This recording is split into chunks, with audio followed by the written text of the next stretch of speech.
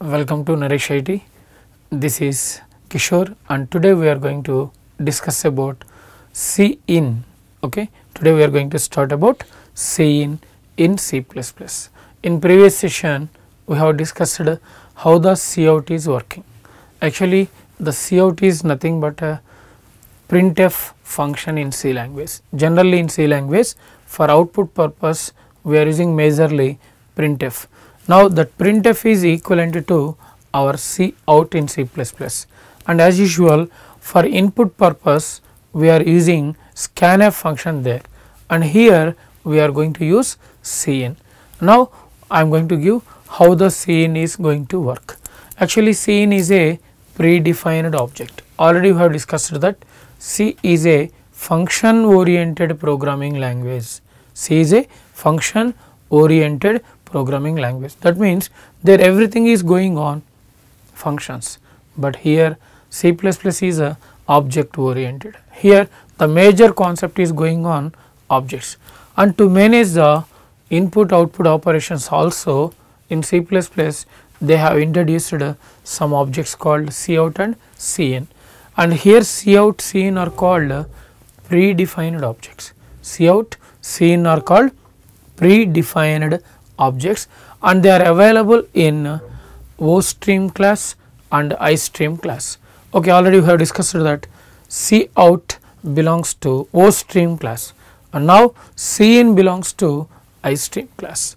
And these classes are available in iostream.h all these classes are available in iostream.h. That is why whenever you are going to work with uh, cout or C in first of all you have to include IO stream dot h. Now, I am going to give the syntax of C in how the C in is working. Okay.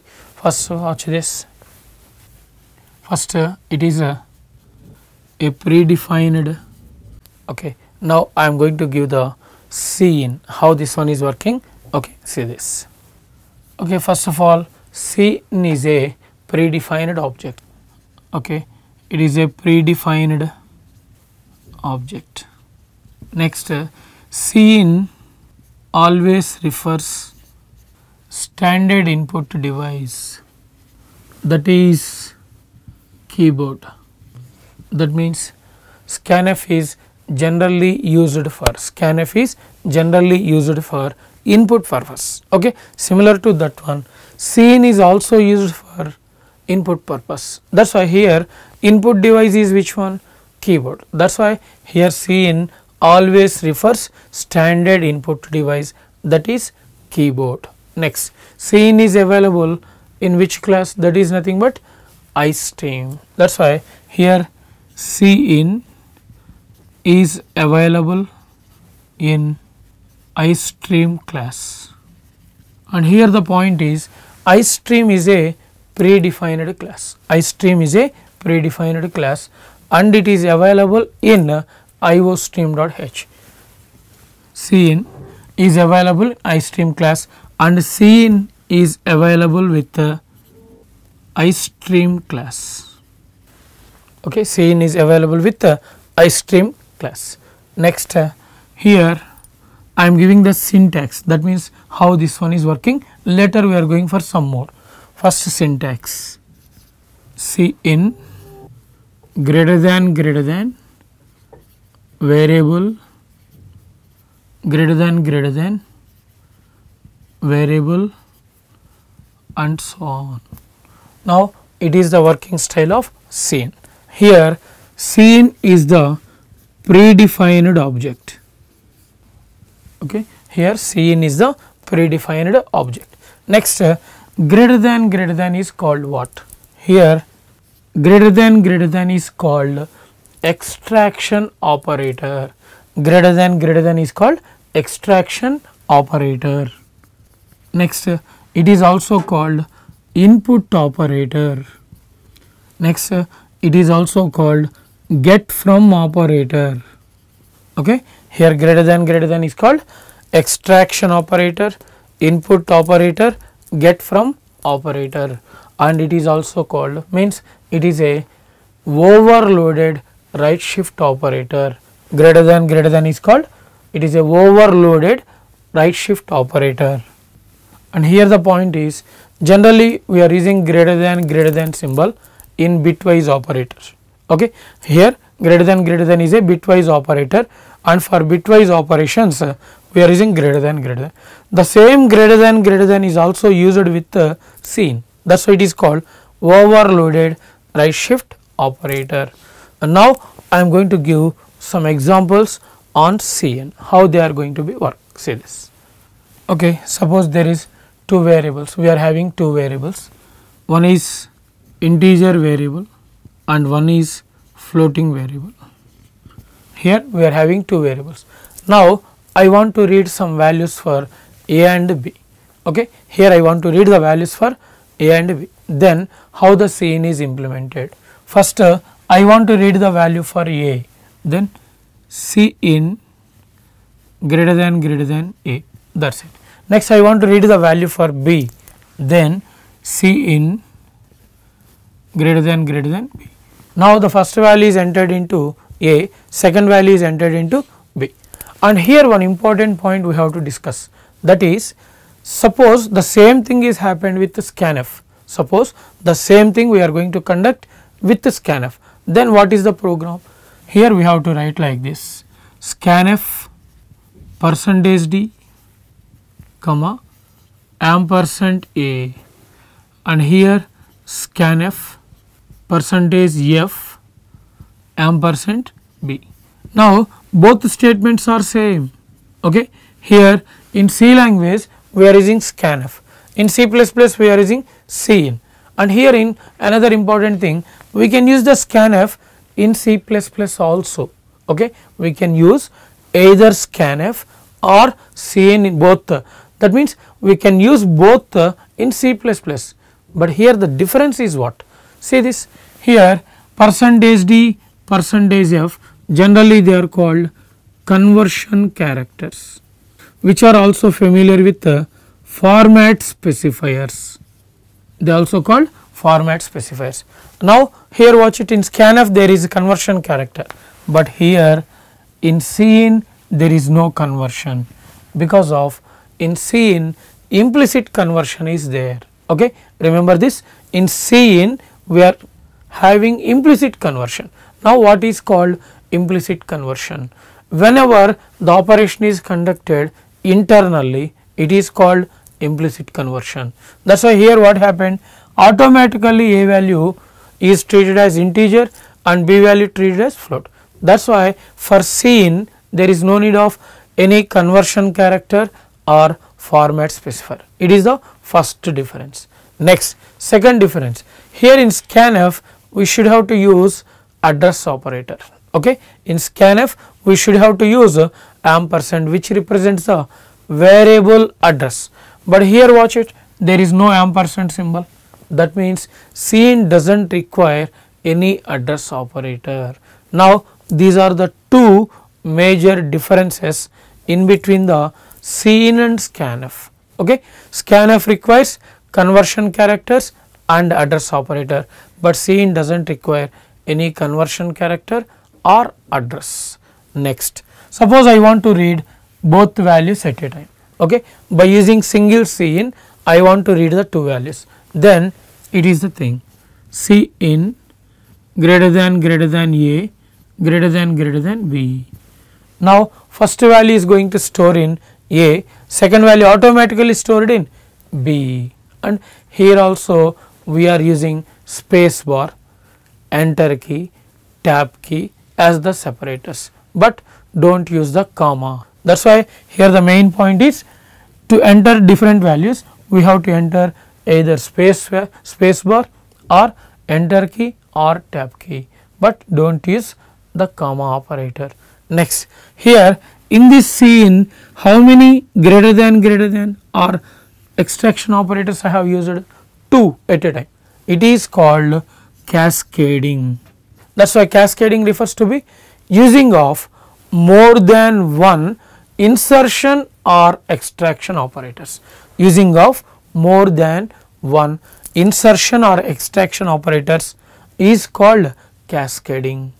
it is how the cin is going to be work in our program. Now, I am going to give how the manipulators are going to be work. Now, first of all what is called manipulation. That is manipulation generally means what? Modifying changing. That means by using manipulators we can edit or we can change the output. We can change the output of printing. See this. For example I am going to use some of the manipulators. For example everybody knows.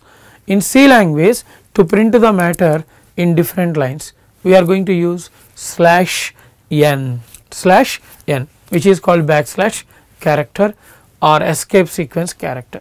Now, in place of backslash n here they have provided endl. Okay. Now, endl is called it is a manipulator and to get the spaces we are going to use their percentage 4d percentage 0.82 like that, but instead of that one they have given set w. Now, all these are called manipulators that is why manipulator means which manipulates the output or result. That is why they are used to change the output style. And all these manipulators belongs to iomanip.h. Now, I am going to give iomanip.h and iomanip.h generally contains what? Manipulators. Okay? Manipulators are used to format the output. Now i am going to give one by one all the manipulators. Okay. now our topic manipulators. Generally manipulators are used for output purpose means formatted output. They are used for formatted results or outputs. Okay. Next here we are having two types of manipulators. One is manipulator operators. Second one is manipulator functions. One is manipulator operator. Another one is manipulator function. And here what are the manipulator operators? We are having two manipulator operators. One is L another one is ends okay? Here endl and ends both are called manipulator operators. Next uh, manipulator functions. Now we are having different manipulator functions. And the first function is set w. Next uh, second one is set fill. And next one is set precision. And next one is set ios flags. Okay? Generally we are using this kind of manipulator functions set w set fill set precision set ios flags. And all they are called manipulator functions and endl and ends are called manipulator operators. Now, what is endl, what is ends, what is everything? One by one we are going to discuss. And here all they belongs to all they belongs to io manip dot h. Okay? Here all they are belongs to io manip dot h. But here one point we have to okay discuss. That is here endl and ends are called manipulator operators. Whenever you are going to work with uh, manipulator operators there is no need of uh, manip.h okay? It is not mandatory. Remember this? Whenever you are going to work with endl and ends there is uh, manip.h is completely optional. That is it is not mandatory. But whenever you are going to work with uh, manipulator functions it should be provided. That is why it is mandatory for all these functions. Okay? For these two it is not required. But all for all these it is compulsory you have to provide. And one more thing all these manipulators are working on C out. And C out belongs to which header file? That is iostream.h okay? Here all the manipulators are working on C out. That is why here C out is used to formatted outputs. Now, the point is whenever you are using C out then we are going to use IO stream.h okay? That is why C out belongs to IO stream.h and all the manipulators are working on C out. That is why here one interesting thing is whenever you are using the manipulators IO manip.h is especially required for functions. IO manip.h is required for manipulator functions. When IO manip.h is there, there is no need of uh, IO stream.h. Okay. Here one important thing is when IO manip.h is used in our program, then there is no need of uh, IO stream.h because of IO manip.h works on cout results. Cout belongs to IO stream.h that means internal IO manip.h manipulates cout that is why there is no need of IO stream.h okay? It is an important point. Next uh, the first operator we are going to discuss is endl what is called endl. Generally to print the output in different lines we are going to use slash n. But in C++ in place of slash n they have introduced endl operator but uh, both are giving the same result. Then what is the difference? Okay. Now generally they are asking what is the difference between endl and slash n? Okay. Here we have to discuss two differences between endl and slash n. Now first thing slash n. Actually slash n is called uh, it is a backslash character generally slash n is called backslash character. Okay? And here endl it is called manipulator. Okay? It is the first difference. Generally slash n is called backslash character and endl is called manipulator. Next second difference. Every backslash character takes one byte. That is why slash n takes 1 byte memory, but here no bytes required. That is why here backslash character slash n occupies 1 byte memory, but it does not occupy any memory. These are the two differences in between slash n and endl. Okay. And here interesting thing is we can use both in C++. We can use either slash n or endl both uh, in C++ plus program also. Okay? But uh, slash n. Whenever you are using slash n you can enter slash n after the text directly. But uh, whenever you are using endl it should be separated with uh, less than less than. Okay?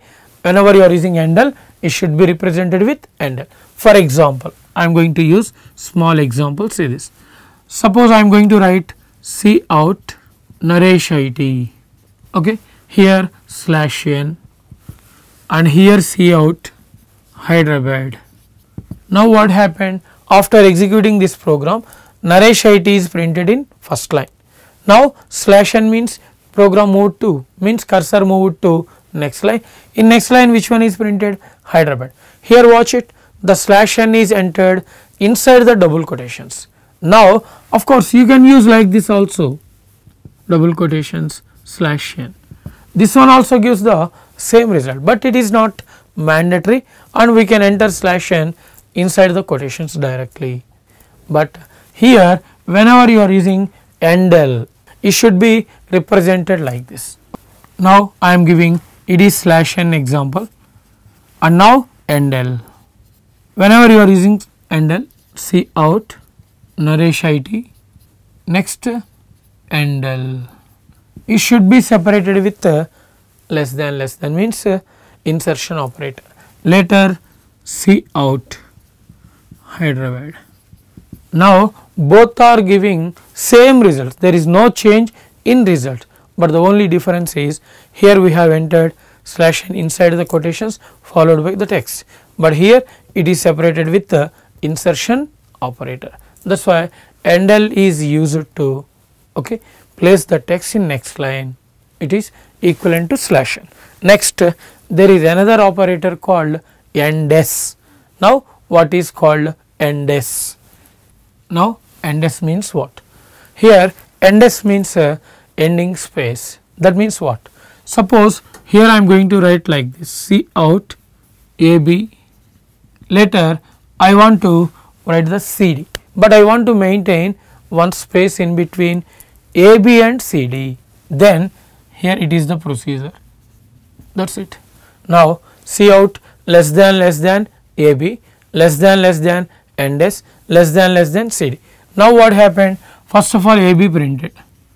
Later one space only one space it is going to add and later C D.